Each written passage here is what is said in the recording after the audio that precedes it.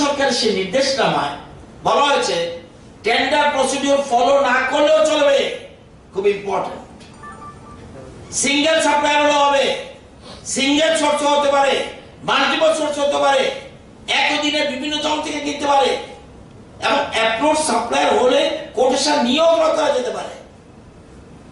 Who told this central government কোন department minister of finance একটু বলে ওইটারও কপি নিয়ে যাবেন। সেকেন্ড কোশ্চেন ইজ কোয়ালিটি রাজ্য সরকার স্বাস্থ্য দুটো কমিটি আছে কোয়ালিটি দেখার জন্য। একটা হলো ইনস্টিটিউশনাল কমিটি যার দায়িত্ব রয়েছে ডক্টর বৈদ্য। আরেকটা হলো special committee regarding quality of corona related আইটেমসের জন্য, ওইটা বললাম যে সুভাষিস বাবু। দুটি কমিটি কোয়ালিটি যাচাই করেছে।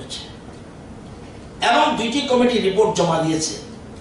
জমা দেওয়ার পর ওই কমিটি যা যা বলেছে, আগে যাই কি পারচেজ করুক না কেন, বলছে এনএচএম পরবর্তী পদক্ষেপ নিয়েছে। এই কমিটিগুলি বলেছে স্যানিটাইজারের ক্ষেত্রে সিক্সটি পার্সেন্ট অ্যালকোহল থাকতে হবে। এই ক্ষেত্রে দেখা গেছে, একটা সাপ্লাই অর্ডারের ক্ষেত্রে ফিফটি সেভেন পার্সেন্ট ছিল, কমিটি এজেন্সিগুলি রিজেক্ট করে দিয়েছে এবং এনএচএম মেনে নিয়েছে। সুতরাং এটা কোনো পার্টিতে কোনো প্রশ্ন ওঠে না। থার্ড পিপিই কিটস এ টুপি goggles glove shoes pant coat top to bottom সব জিনিস থাকার কথা। কিন্তু কিছু কিছু ক্ষেত্রে পিপি কিটসে দেখা গেছে, অত্যন্ত পাতলা কোয়ালিটির জিনিস এবং পিপি কিটসে বেশ কিছু আইটেম সবগুলি জিনিস নেই। কোয়ালিটি কমিটি বলছে পাতলা পিপিট গুলিকে এগুলি এক্ষেত্রে ব্যবহার করা যাবে না। এবং যেগুলি অসম্পূর্ণ রয়েছে, যেমন আপনাদের যে তদন্তকারী কমিটির রিপোর্টও সেটা উল্লেখ রয়েছে, তার যাবতীয় জিনিস দিয়ে সম্পূর্ণ করার পর পেমেন্ট যাতে করা হয়, সেটা বলেছে এবং এনেছেন এটা মেনে নিয়েছে। রেট স্যানিটাইজার তিনশো বিশ টাকা প্রতি বোতল, পাঁচশো মিলিলিটার, পাঁচ পাঁচ হাজার বোতল অর্ডার দিয়েছিল। তিনশো কুড়ি টাকা বোতল, পাঁচশো মিলিলিটার পাঁচ হাজার বোতলের অর্ডার দিয়েছিল। এনএচএম কর্তৃক টেকনিক্যাল কাম পারচেজ কমিটি বলেছে, তিনশো কুড়ি টাকা করে ক্রয় করো। এর আগে আইসিএমআর বলেছে, দুইশো পঞ্চাশ টাকা করে কেনার জন্য এর জন্য কমিটিকে তদন্ত কমিটি শোকজ করার জন্য বলেছে।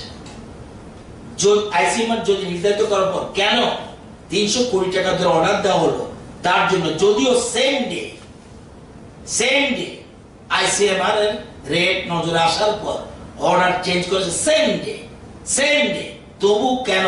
তবু কেন? এরকম রেট ধার্য করল, এর জন্য সহজ করার কথা বলা হয়েছে RTPCR kits technical cum purchase committee ছাব্বিশশো টাকায় ক্রয় করার জন্য রেকমেন্ড করেছে। নাইন্থ এপ্রিল যখন সাপ্লাই অর্ডার দেয় তখন অব্দি আইসিএম এর কোনো রেট নির্ধারিত ছিল না। মনে রাখতে হবে কিসের জন্য? RTPCR kits RTPCR kits and test separate thing RTPCR kits and test separate thing এবার কমিটি বলছে ইয়ে ছাব্বিশ হাজার টাকা কিনো নাইন্থ এপ্রিল যখন সাপ্লাই দিয়েছে, তখন অব্দি আইসিএম এর সামনে আইসিএম এর কোনো রেট সারা দেশে ছিল না। প্রকাশ থাকে যে, দশ তারিখ, দশ এপ্রিল আমাদের রাজ্যে একটা কার্গো ফ্লাইটে আসার কথা ছিল। এর জন্য নয় তারিখ তারিখ আর্জেন্টলি অর্ডার দেওয়া হয়েছে। কারণ ছয় চার বিশ তারিখ, ছয় ছয় সিক্স এপ্রিল আমাদের রাজ্যে প্রথম কবি কেস ধরা পড়ে। এভরিবডি টেন্সড সবাই আতঙ্কিত। We don't know what will be happen সেখানে তাড়াতাড়ি কোনো কথা নেই। দশ তারিখ ফ্লাইট আসবে।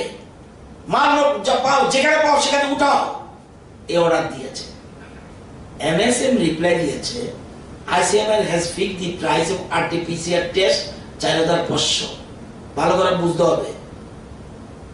আমি একটু আগে বলেছি আরটিপিসিআর কিটসের কোনো রেট ফিক্স ছিল না। আবার এখন এখন বলছি আরটিপিসিআর আরে আইসিএমআর টেস্টের জন্য একটা রেট ফিক্স করেছে আর্টিফিশিয়াল টেস্ট সেটা কি? পঁয়তাল্লিশশো সবটা পরীক্ষার জন্য পঁয়তাল্লিশশো যেমন অন্যান্য রাজ্যে প্রাইভেট টেস্ট হয়, আমাদের রাজ্যে নয়। আমরা এটা আমরা করিনি, ওদের নিজের পয়সায় করায়। আমরা করিনি, আমাদের রাজ্যের মানুষ তত তত আর্থিকভাবে সচ্ছল নয় সেই জন্য আমরা এটা করিনি। ওইখানে পঁয়তাল্লিশ, অর্থাৎ টোটাল টেস্ট করতে গেলে ওই পঁয়তাল্লিশ হিসাব করে তারা ছাব্বিশশো টাকা টেস্ট কিটের দাম ধরেছে। এবং আমরা জানেন ভারতবর্ষে আর্টিফিশিয়াল কিট তৈরি কোনো কোনো ম্যানুফ্যাকচারার ছিল না। সমস্ত জিনিস বাইরে থেকে আসতো, তার ফলে রেটও বেশি পড়তো। পরবর্তী সময় হরিয়ানা হরিয়ানাতে একটা Korean company manufacturing unit start করে, ফলে ধীরে ধীরে দাম কমতে হয়।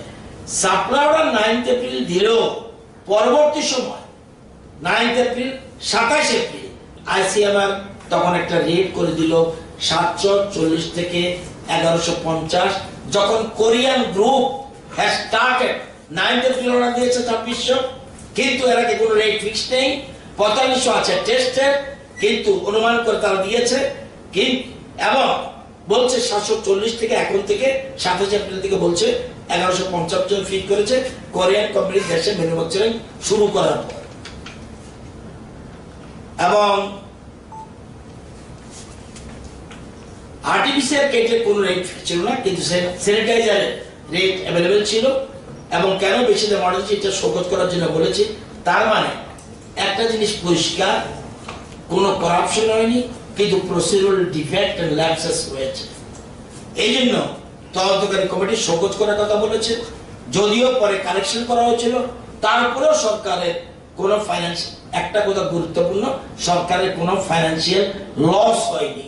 This is most important when corruption come যদি আমার সরকারের আর্থিক ক্ষতি হতো, তাহলে হলো কোশ্চেন হলো করাপশন এবং এমডিএনএচএম প্রত্যেকই অর্ডারের ফাইলে কেন আমি কথাগুলি বলছি একটু পরে বলব।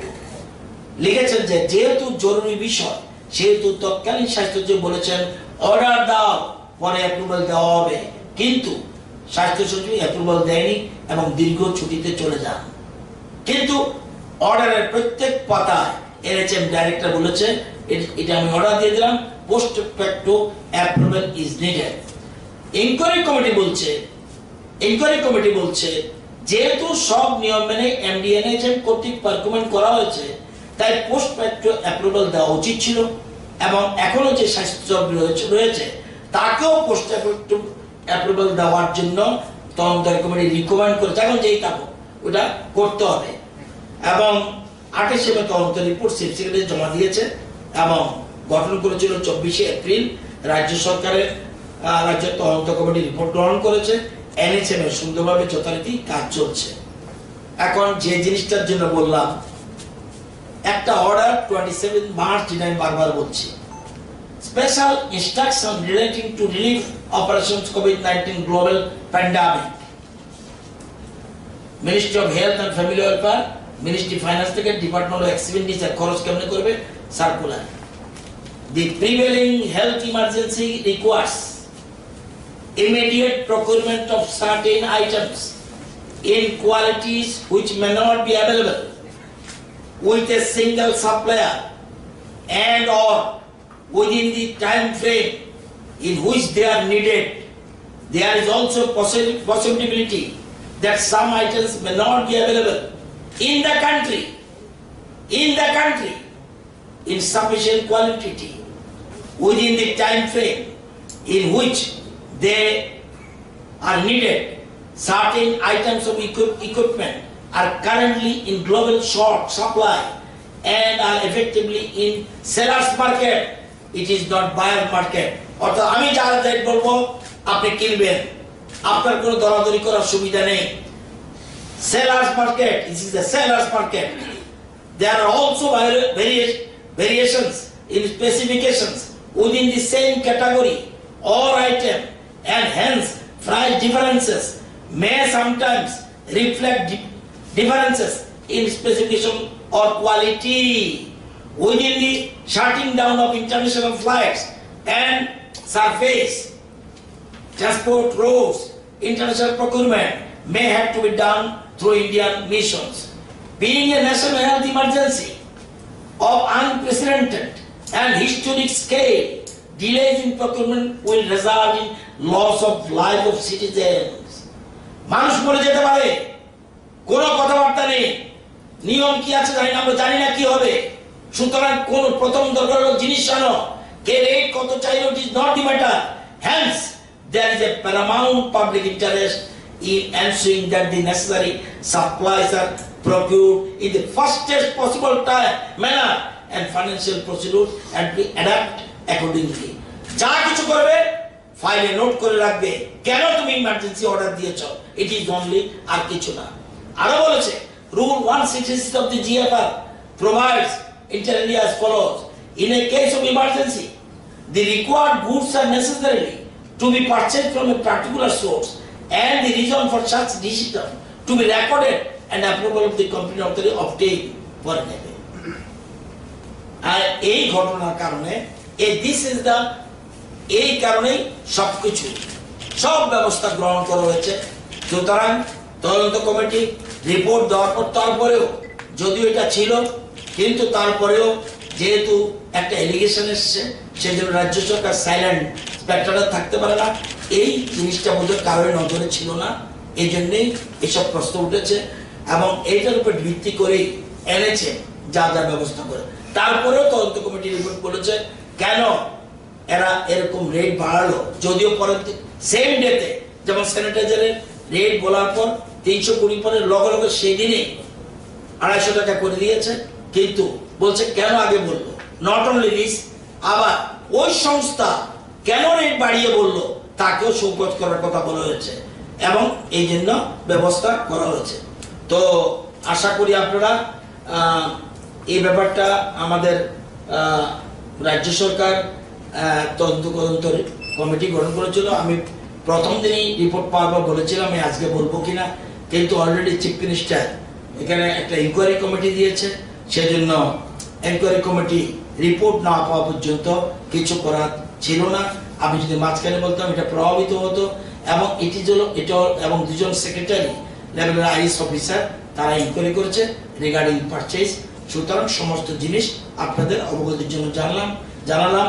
প্লাস আপনাদের এই কাগজের কপি এবং এই কপি আপনারা you can take no problem